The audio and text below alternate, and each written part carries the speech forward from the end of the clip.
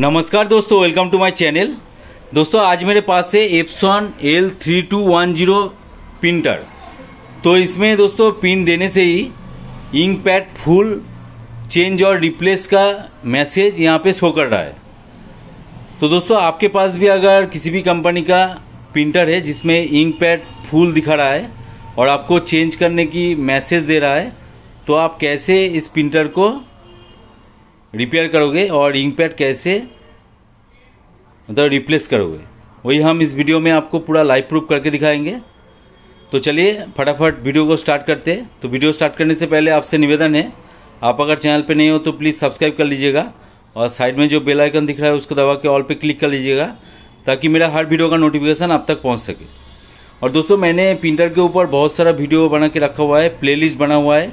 जाके देखिए repair repairing अगर आप सीखना चाहते हो तो प्लेलिस्ट को विज़िट कीजिए। कोई ना कोई वीडियो दोस्तों आपके काम का आ ही जाएगा। तो चलिए इस वीडियो को स्टार्ट करते हैं। तो जैसे कि दोस्तों, मैंने यहाँ पे एक प्लास्टिक दे के रखा हुआ है। मतलब तो बहुत सारा इंक यहाँ से गिर रहा है, देखिए। तो इंक पैड चेंज करने के लिए आपको प्रिंटर खोलने की ज़रूरत नहीं है। देखिए, यहाँ पे पीछे ही आपको एक सेक्शन मिलता है।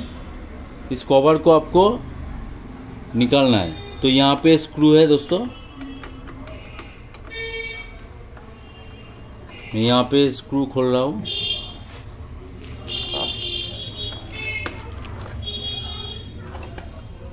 और माइनस की मदद से इसको आप आसानी से खोल सकते हो। और दोस्तों, यहाँ पे भी एक स्क्रू होता है, लेकिन यहाँ पे अभी दिखाई नहीं दे रहा है। तो आप आराम से इस इंक पैड को निकाल सकते हो। तो देखिए, पूरा इंक यहाँ पे भर गया है। इसीलिए इस प्रिंटर का जो सेंसर है सेंसर के मदद से वहाँ पे आपको मैसेज डिस्प्ले कर रहा है इंक पैड फुल तो देखिए, बहुत ज़्यादा वेट भी हो चुका है। तो इसको आपको चेंज करना है। मतलब रिपेयर तो होता नहीं है।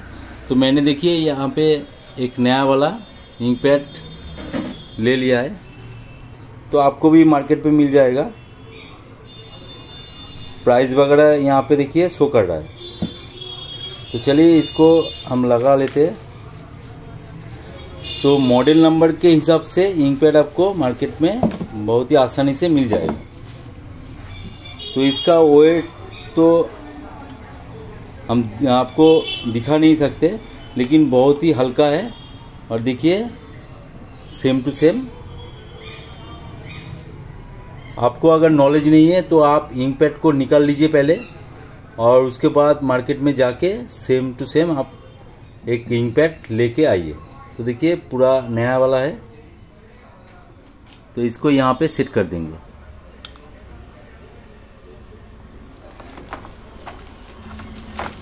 देखिए। और कुछ नहीं है। बहुत ही आसान तरीके से आप इसको लगा सकते हो। और यहाँ पे कवर को लगा दीजिए।